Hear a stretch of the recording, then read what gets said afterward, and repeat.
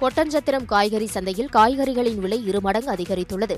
கடந்த ஒரு மாதமாக காய்கறிகளின் விலை குறைவாக இருந்த நிலையில் பொங்கலை முன்னிட்டு வெளி மாவட்டங்கள் மட்டுமில்லாது கேரளாவிலிருந்தும் வியாபாரிகள் காய்கறி வாங்க குவிந்தனர். இதனால் காய்கறிகளின் விலை கணிசமாக உயர்ந்துள்ளது. கடந்த வாரம் பதினைந்து ரூபாய்க்கு விற்கப்பட்ட ஒரு கிலோ தக்காளி முப்பது ரூபாயாக உயர்ந்துள்ளது. அவரை வெண்டை முருங்கை எலுமிச்சை பூசணி உருளை மிளகாய் என அனைத்து காய்கறிகளின் விலையும் அதிகரித்துள்ளது.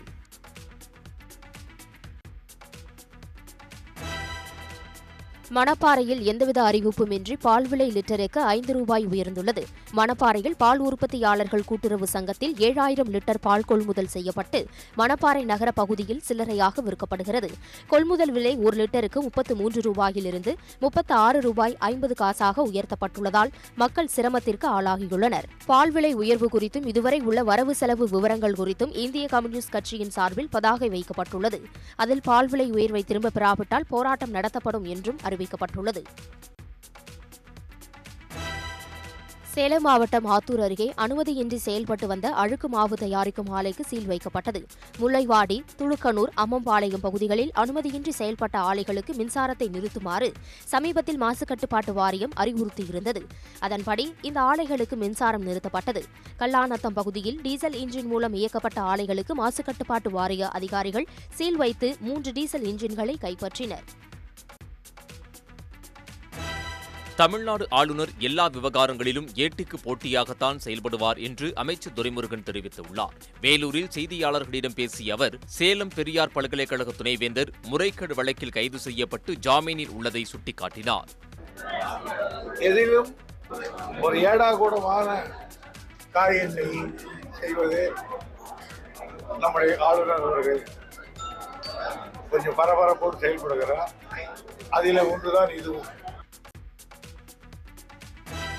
தமிழ்நாடு அரசின் புதிய தலைமை வழக்கறிஞராக பி எஸ் ராமன் நியமிக்கப்பட்டுள்ளதை அடுத்து நாளை மறுநாள் அவர் பதவியேற்றுக் கொள்கிறார். திமுக ஆட்சி பொறுப்பேற்றதும் கடந்த இரண்டாயிரத்து இருபத்தி ஒன்றாம் ஆண்டு நியமிக்கப்பட்ட உயர்நீதிமன்றத்தின் அரசு தலைமை வழக்கறிஞர் ஆர் சண்முக சுந்தரம் அண்மையில் தனது பதவியை ராஜினாமா செய்தார்.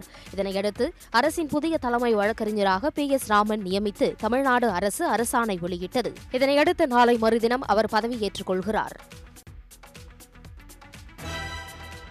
பாஜகவுக்கு எதிரான இந்தியா கூட்டணி தலைவர்களின் ஆலோசனைக் கூட்டம் இன்று காலை நடைபெறவுள்ளது.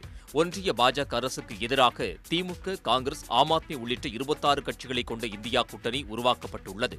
பாட்னா பெங்களூரு மற்றும் மும்பையில் மூன்று கூட்டங்கள் நடைபெற்ற நிலையில் இன்று நான்காவது கூட்டம் காணொலி வாயிலாக நடைபெறவுள்ளது. இந்த கூட்டத்தின் போது கூட்டணியின் ஒருங்கிணைப்பாளர் தேர்வு மற்றும் தொகுதி பங்கீடு குறித்து விரிவாக விவாதிக்கப்படும் என்று எதிர்பார்க்கப்படுகிறது. இதைத் தொடர்ந்து நாடாளுமன்ற தேர்தலுக்கான பரப்புரை கூட்டங்களை நாடு முழுவதும் நடத்துவது குறித்து விவாதிக்கப்படும் என தகவல் வெளியாகியுள்ளது. ராமர் கோவில் திறப்பு விழாவை புறக்கணிப்பதாக கூறியுள்ள நான்கு சங்கராச்சாரியார்கள் சனாதனைகள் இல்லை என்று பாஜகவால் சொல்ல முடியுமா என சமாஜ்வாதி கட்சியின் தலைவர் அகிலேஷ் யாதவ் கேள்வி எழுப்பியுள்ளார். வாரணாசியில் செய்தியாளர்களை சந்தித்தவர் பாஜகவினர் எதிர்க்கட்சிகளை குறை சொல்வது போல் சங்கராச்சாரியார்களை குறை சொல்லவும் வாய்ப்பு உள்ளது என்று விமர்சித்தார்.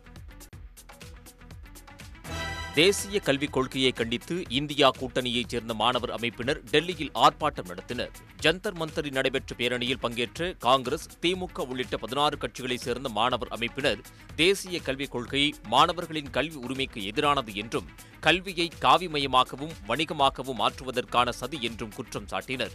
இதில் பாடல்களை இசைத்து புதிய கல்விக் கொள்கைக்கு எதிராக மாணவர்கள் முழக்கம் எழுப்பினர்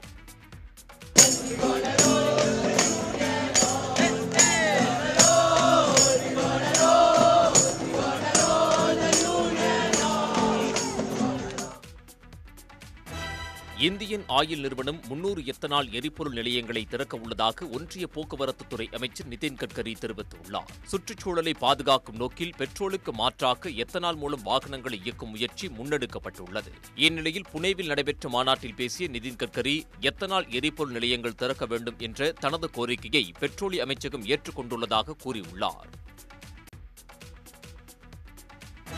இங்கிலாந்திற்கு எதிரான முதல் இரண்டு டெஸ்ட் போட்டிகளில் பங்கேற்கும் இந்திய அணியை பிசிசிஐ அறிவித்துள்ளது. ரோஹித் சர்மா தலைமையிலான பதினாறு பேர் கொண்ட அணியில் சுப்மன் கில் ஜெய்ஷ்வால் விராட் கோலி ஸ்ரேகாஸ் கே எல் ராகுல் கே எஸ் பரத் அஸ்வின் ரவீந்திர ஜடேஜா அக்ஷர் பட்டேல் பும்ரா குல்தீப் சிராஜ் முகேஷ்குமார் மற்றும் அவேஷ்கான் ஆகியோர் இடம்பெற்றுள்ளனர் காயம் காரணமாக வேகப்பந்து வீச்சாளர் முகமது ஷமி இடம்பெறவில்லை. உத்தரப்பிரதேசத்தை சேர்ந்த விக்கெட் கீப்பர் த்ரூ ஜூரெல் அணியில் புதிதாக இடம் பிடித்துள்ளார். ஐந்து போட்டிகள் கொண்ட டெஸ்ட் தொடரின் முதல் போட்டி வரும் இருபத்தி இருபத்தைந்தாம் தேதி ஐதராபாத்தில் தொடங்குகிறது. உடனுக்குடன் செய்திகளை தெரிந்து கொள்ள சன் நியூஸ் பெல் கிளிக் பண்ணுங்க.